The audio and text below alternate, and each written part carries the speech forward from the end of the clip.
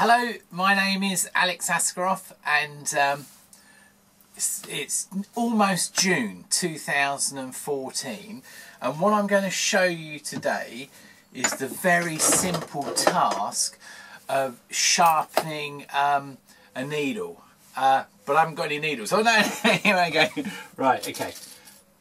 Now, uh, the most important thing on your sewing machine is the needle and a sharp needle especially if you've got old sewing machines and the needles are hard to get hold of um, you can sharpen them quite easily. So first of all look at your needle and make sure it's straight. Um, don't bother sharpening a bent needle's waste of time. If your needle's straight run your fingernail down the edge of the needle to the point and just run your fingernail over the point and see if it catches.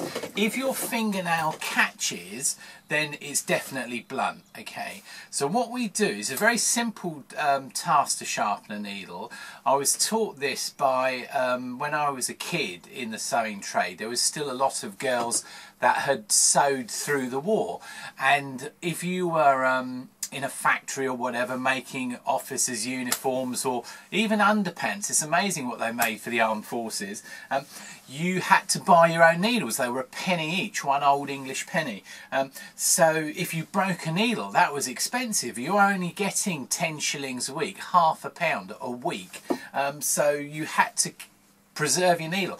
And this is what they taught me get a, an oil stone. It doesn't matter what sort of oil stone, the finer the better. Or you can even get a little bit of very fine carborundum and glue it to a flat piece like I've done here okay? And then what you do is put a little drop of oil on whichever stone you're using a little drop of oil. Take the needle between your thumb and your first finger and twist it. Twist the needle forwards and backwards, forwards and backwards. Now this is, is so easy, but this is the only way and the best way to do it. Run the needle across the emery or the carborundum stone while you are pulling it. I use this smaller stone because it's actually easier to show that uh,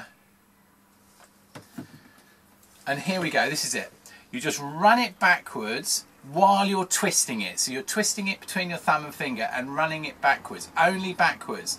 And you just keep doing that and then you feel it. Yep. And then eventually do it do it for maybe um, a minute, no longer than that. And, and then eventually you will have the perfect uh, point and you can get some little carborundum stones like mine it has a channel specifically for sharpening needles. That's great. You could just put it in the groove uh, it's even easier. But that's it. That's how to sharpen your sewing needle. And honestly a sharp needle if there's one thing important thing it is a sharp needle. It will keep your sewing great and your quilting great and it will keep you happy.